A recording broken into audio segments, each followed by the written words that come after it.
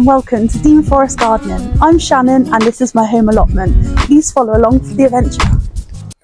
Hello and welcome back to my channel. It has been a couple of days, I am sorry about that. We've got a lot to catch up on. So I've gone to Lidl, I've got the multi-purpose compost. They had these big massive bags, 40 litres for 3.49. So I thought, right, I'll just grab four bags. Perfect. So i've got them over there on the storage unit ready to go. Um so a plan of action today. I'm going to weed the top garden as much as i can. Go down and weed the bottom garden as much as i can. Fill at least two bags worth into the raised planters.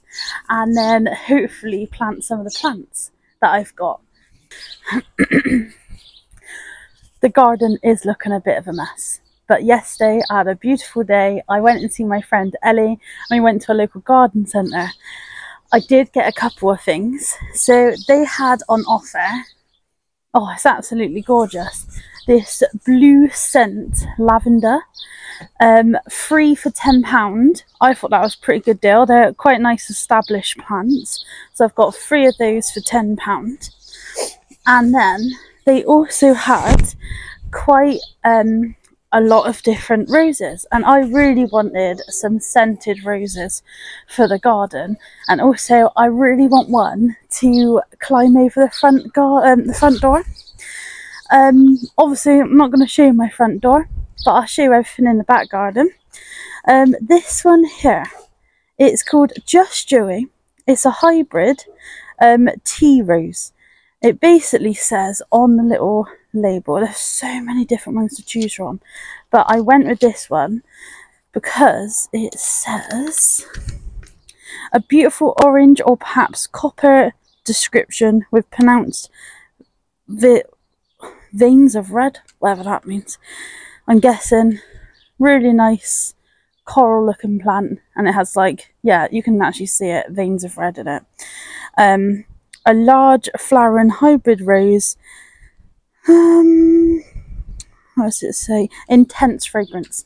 I basically i just wanted some roses. A little bit different to the one i've already got. It's like that beautiful like pinky red rose.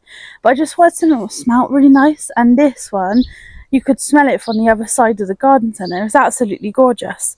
Um it does well you can already see it's got the little um, dots on the leaves. Apparently, I think people say it's like a fungal disease, what's in the soil, um, but it doesn't really, well, just chop those leaves off and hope that it's all right. Um, but yeah, it's got some lovely colouring, some different types of coloured leaves, and just the flowers are stunning. Um, I I did a bit of googling and it wasn't in the climbing rose area but apparently this one is it could be a climbing rose. So I'm going to plant it in the corner over there because we've got like the barbecue area here but it's kind of a dumping ground at the moment. But I'm thinking plant that in the corner and then it can just do whatever it wants. If I think it might be beneficial to put a little climbing frame next to it just to like grow at the wall, I think yeah that looks stunning or just leave it how the other one is at the moment.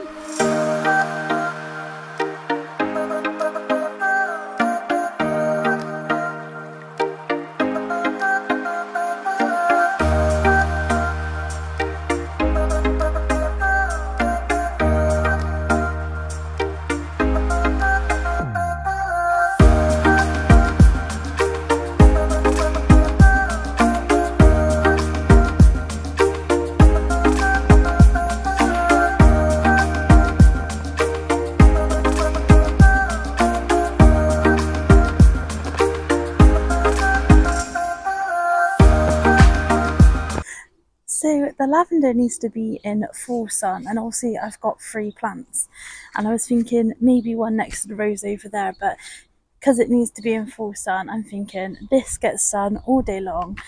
I'm probably going to plant one there, one in the gap there and one in the gap over there and um, we should have some beautiful flowers and some really nice fragrance in the top of the garden.